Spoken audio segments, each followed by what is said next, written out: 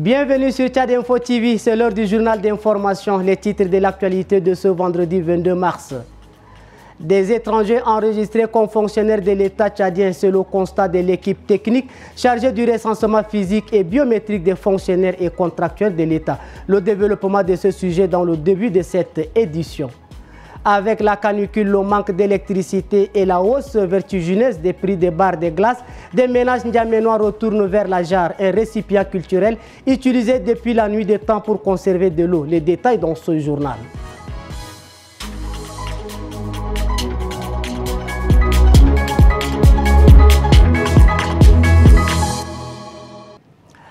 Une fois de plus, bonsoir et bienvenue dans ce journal d'information. Comme annoncé dans les titres des étrangers enregistrés comme fonctionnaires de l'État tchadien, le constat est fait par l'équipe technique chargée du recensement physique et biométrique des fonctionnaires et contractuels de l'État. Au bout de deux mois sur le terrain, l'équipe technique a découvert des irrégularités. Suivez les explications de Mohamed Nasradin Moussa, vice-président de la commission chargée du recensement biométrique des fonctionnaires et contractuels de l'État au micro de Rasso Mordim Leila. Nous avons eu un bon nombre des agents qui euh, demandent de quitter la fonction publique. Euh, nous avons détecté aussi euh, des décédés actifs. À peu près 434, ce que nous avons jusqu'à aujourd'hui détecté. Et nous avons détecté aussi des retraités actifs, des retraités qui continuent à gagner leur salaire jusqu'en date d'aujourd'hui. Ils sont autour de 1600 quelques. Nous avons détecté aussi euh, euh, des fonctionnaires euh, qui gagnent sur la caisse de l'État et qui ne sont pas au pays. Ils sont, en plus de leur nationalité tchadienne, ils sont d'autres nationalités et qu'ils sont en train de travailler en dehors des pays et que les salaires continuent. Donc, euh, il était maintenant question au niveau du comité, euh, surtout mois de, à la fin de ces mois de mars, ceux qui n'ont pas été recensés, ils n'auront pas leur salaire. Donc leur salaire sera suspendu, sera suspendu. Une fois suspendu maintenant, s'il y, y, a des réactions, maintenant, en ce moment, il faut euh, mettre maintenant l'équipe maintenant pour gérer leurs problèmes. La délégation du gouvernement tchadien dépêchée au Cameroun pour s'enquérir de la situation sécuritaire des étudiants s'est rendue ce jeudi 21 mars à Tchang, après Yaoundé et Douala. Cette délégation déplore des tracasseries que subissent les étudiants tchadiens au Cameroun et aussi demande que lumière soit faite sur la recrudescence des cas d'agression, d'assassinat et de kidnapping dont sont victimes les étudiants tchadiens dans ces différents sites estudiantins du Cameroun. Plus de détails dans ce compte rendu. La délégation du gouvernement tchadien dépêchée au Cameroun pour s'enquérir de la situation sécuritaire des étudiants est arrivée ce jeudi 21 mars 2024 à Tchang après Yaoundé et Douala. Après la visite des autorités administratives, universitaires, la délégation a tenu une rencontre avec les étudiants tchadiens à Tchang dans la salle de l'école doctorale de cette université. Prenant la parole, le général Abdoulaye Issa Sarwa déplore les tracasseries routières que subissent les étudiants tchadiens au Cameroun malgré leurs papiers au complet. Dans leurs interventions, les étudiants ont présenté tour à tour les problèmes qu'ils rencontrent. Après avoir écouté les avis des étudiants, le chef de mission Bodoum Seyd garantit aux étudiants que leurs demandes seront remises à qui des droits. C'est par là que la délégation a pris la route pour Ngaoundéré.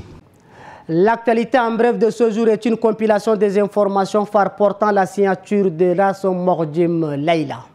Entamons l'actualité en bref de ce vendredi par cette information. Le Premier ministre de Transition, Dr Succé Masra, a rencontré le directeur général de Istar Oil pour discuter des activités du groupe pétrolier au TAD. Istar Oil, qui a racheté le réseau de distribution Total TAD, est devenu l'une des compagnies les plus importantes dans les secteurs des hydrocarbures au TAD. Le directeur général a promis un service fiable et des qualités pour répondre aux besoins de la population, tandis que le Premier ministre a rassuré le soutien de l'État pour un Le ministère de la Sécurité publique et de l'immigration interdit la marche pacifique des médecins de la 24e promotion prévue pour le samedi 23 mars. Selon le ministère, cette initiative ne respecte pas les dispositions relatives aux manifestations sur la voie publique et est un risque de trouble à l'ordre public. Il faut souligner que ces médecins entendent organiser cette marche pour réclamer leur intégration à la fonction publique.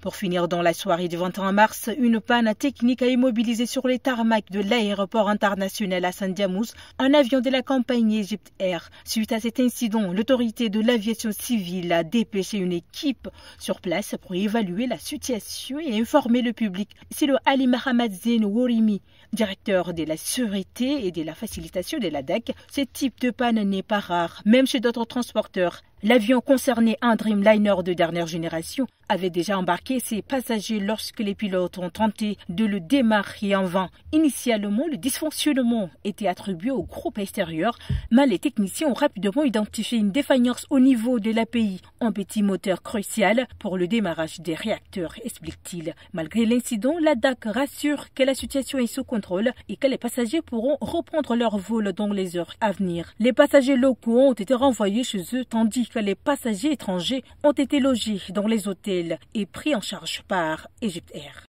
L'augmentation du prix de la glace en cette période de canicule semble avoir sonné l'heure de gloire de la jarre. La glace devenue inaccessible pour beaucoup de consommateurs. Des ménages se tournent vers la jarre, un récipient qui fournit de l'eau fraîche sans des dépenses en carburant ni en électricité. Sanda Kapdana et Abakar Lambert pour plus de détails. Elle ne s'attend pas à ce prix. 4000 francs CFA, un montant qu'Albertine doit débourser pour une jarre. Hier encore, elle ne coûtait pas aussi une fortune, mais depuis le début du ramadan accentué par les délestages continus de l'électricité, la jarre est devenue une star et son prix a pratiquement doublé.